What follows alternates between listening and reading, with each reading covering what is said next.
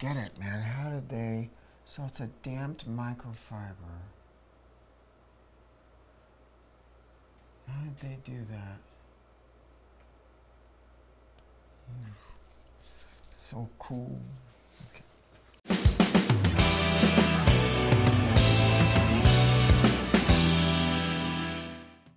Hi, this is Kevin Deal from Upscale Audio, and today we're going to talk about the Mission 770 speaker. Oh my God, I feel young again. Uh, in fact, well, you know what? I don't know if I feel that young because, as you guys know, I got to say something. You know, I'm going in for a knee replacement surgery, and I just made a little mention of it, and I got people writing me and stuff, giving me advice on it. Therapy, therapy, therapy, therapy, therapy. Everyone's saying, but it, this is what I want to say. I'm so grateful that people even care. And it really made me feel good. I mean, I, I, talked to my wife Laura about it, and it's just like, you know what? I really love the people in our audience, and I love all the audiophiles. I mean, even if you don't buy anything, you, you know, I freaking love you people, and I, and I mean that. It makes me kind of a, uh, almost emotional to have this uh, connection with you. And why do I feel young though? Because I sold mission speakers back in the, the day, right? Back uh, when I was working at uh, RSL and actually uh, before that, and I'm very familiar with the brand and I love the brand and we were in listening to the speaker. And you know what we had to do right? We had to be listening to Dire Straits Sultan of Swing because I forget when that came out but it was like right in tune with uh, with the founding of Mission and back in the when I was selling them before the original 770s and I mean uh, okay so Mission is a British company. Uh, start uh, the designer back then was a guy named uh, Farad uh, Azima as I recall and God you know I've got several pairs of them now. I, I'm not kidding people talk about if you come to my store, the, up in the rafters, there's called Kevin's DNI, do not inventory. And my dream is to be able to get out my old Mission 780s, my 781s, which are actually in the service department. I got 760. I got, uh, I used to have a pair of 782s. I don't know what happened to them, but I've always loved their stuff. They sounded so good back then uh, you know, the, the deal was like the Spendor BC1. I've, I've never been, and I don't mean to insult anybody, I never was a big fan of that speaker because it had this weird kind of a resonance on the uh, the top end or towards the top end that just uh, just hit me the wrong way. But Mission speakers never did, and they were really quite different. Some of them were absolute power hungry monster little boxes, and some of them were moderately efficient. This speaker uh, is a rebirth of the 770, which is one of the most iconic speakers in the history of hi-fi. and before I get to how it sounds, I want to talk to you about how it measures. This, and I love what they did. This is what, the, this is an 8-inch two-way, right? And I love 8-inch two-way speakers. I love them because, man, they can get the mid-range right. I mean, an 8-inch uh, bass driver that's doing double duty up into the mid band, it gets this, it gets this, and this, the chest of the sound. And that's what the speaker does really, really well. So it's an 8 inch two way. I got to talk about the top end. This is a 28 millimeter tweeter, and it is damped microfiber super, super cool. Now what they wanted to do is they wanted to put it in its own little uh, sub-enclosure rear chamber because they wanted to lower the resonant frequency of the driver so it was out of the, reach of the crossover. It's well below the crossover point of the speaker, which is uh, 2800 hertz. And I, I'm just going to tell you, I think a lot of people have talked about how they like this bass driver. I think that for me, the rubber meets the road in the midband, and then I mean because the bass is superb.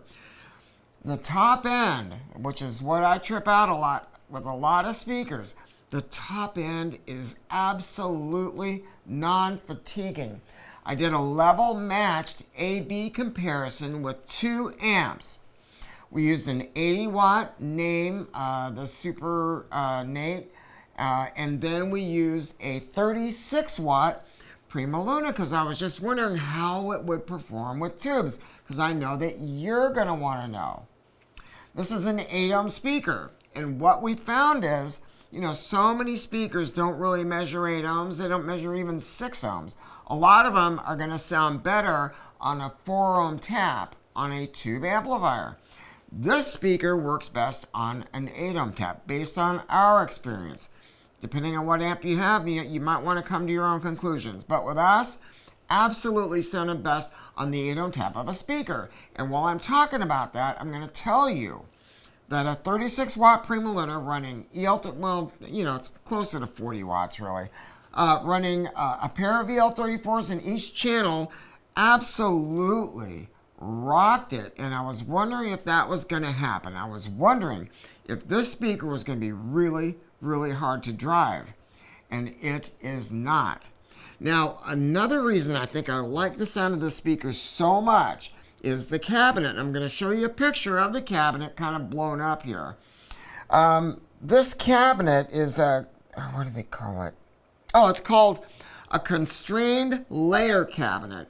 So I have a couple of different materials with a damping material in between the two of them. And I've rapped on dense cabinets before, but this one,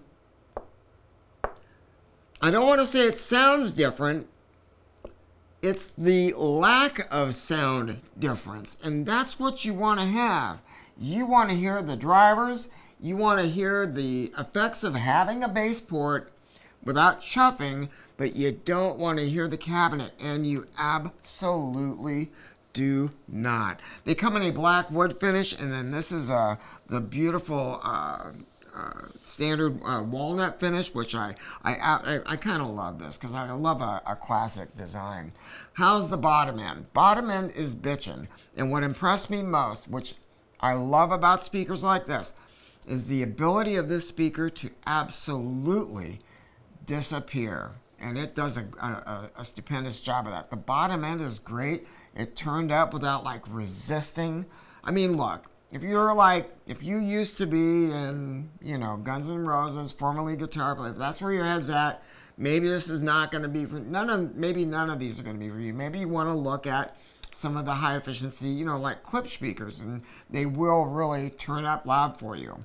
Uh, but this speaker, I mean, it really rocked my world. Oh my God. Comes with a beautiful uh, grill, which we left out, stupid.